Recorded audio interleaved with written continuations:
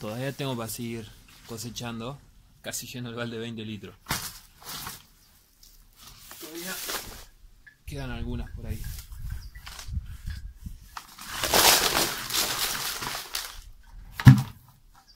Miren si en poco espacio no se puede hacer un buen alimento.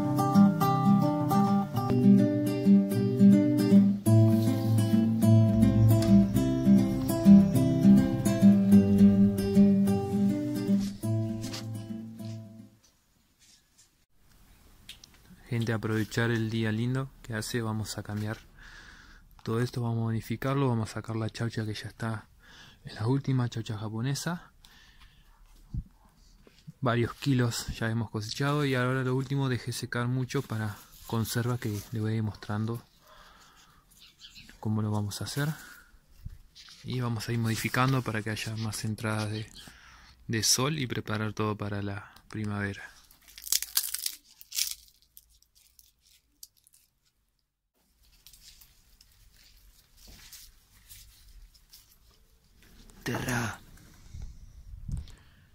Miren, hasta arriba del todo el laurel van las chauchas. Esto vamos a recolectar todo.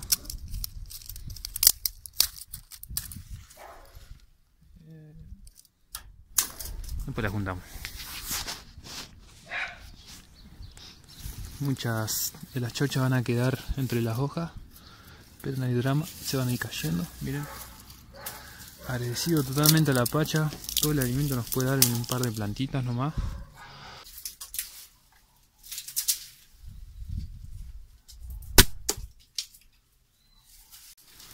Ahora van a ver cómo está la palta también crecida, pero con la chaucha enredada ahora.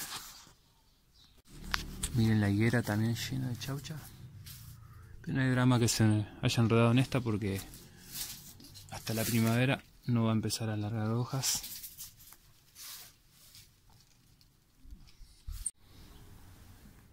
Ya falta menos, pero falta todavía. Miren lo que es esto, el poder de esta planta. Generaciones y generaciones de las mismas semillas. Hay que hacer eso, gente. Volver a cultivar con las mismas semillas. Se adaptan al lugar.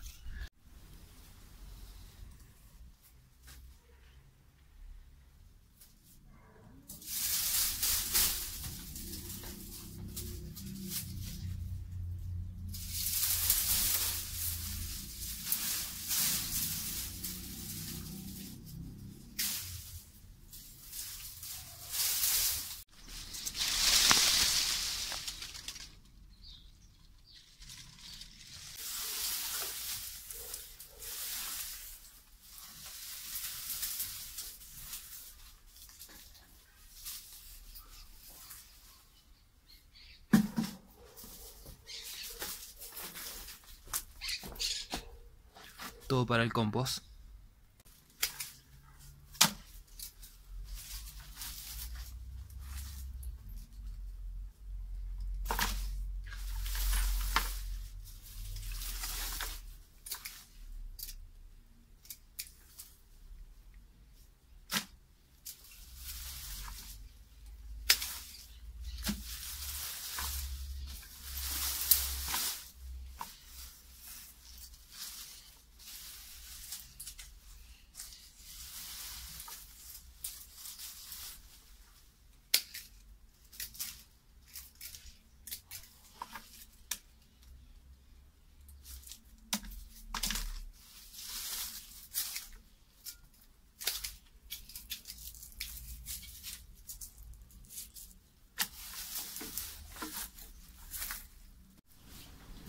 Miren, todavía tengo para seguir cosechando, casi lleno el balde de 20 litros.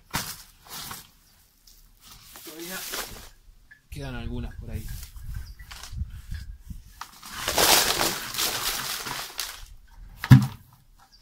Miren si en poco espacio no se puede hacer un buen alimento. La idea es obtenerlas más tiernitas, cocinarlas se ponen a hervir. Una vez que están tiernitas que las traspasa con un con un tenedor se le saca. Esta variedad por ejemplo tiene hilo todo alrededor. Cuando están fíjense igual cuando se cocinan sale más fácil. Con un cuchillito le cortamos ahí y se lo sacamos muy fácil. Después le va a comer ensalada con huevo tomate como más te gusta. Te haces un guiso una salsa. Las que ya están secas las que voy a, son las que voy a conservar. Si alguna ya está media amarillita ya está mucho más dura la puedo dejar que termine de, secar.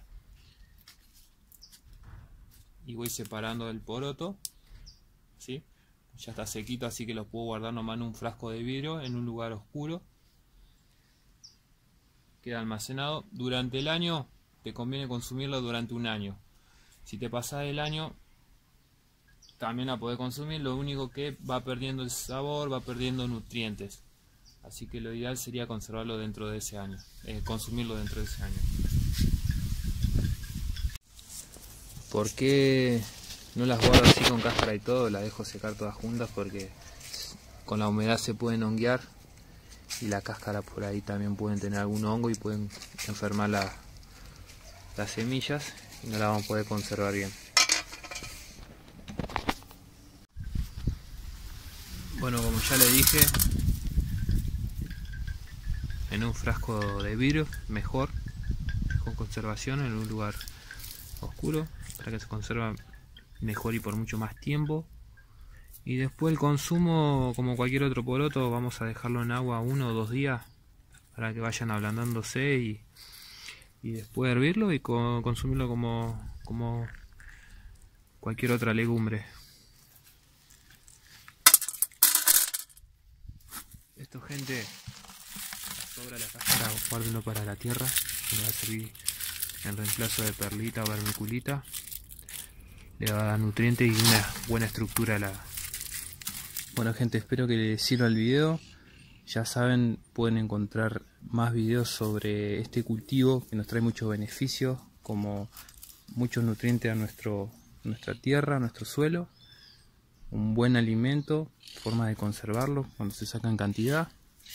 Eh, acá un poco espacio donde hemos cosechado, miren, esponjas vegetales, zapallo, tomate, todos esos videos que pueden encontrar acá en el canal y vienen más cosechas, preparando, tenemos batata en maceta, en bolsa, eh, rabanitos, lechugas, arvejas, voy a mostrar acá, que hay también videos en el canal, así que ya saben gente, no importa cuánto espacio haya, eh, vamos a hacer un video acá con el baldihuerto, al lado que está el, terreno baldío, que también estamos cultivando ahí, preparando todo para cultivar. Así que bueno, si quieren seguirme ya saben, yo ustedes me acompañan, yo lo acompaño a ustedes.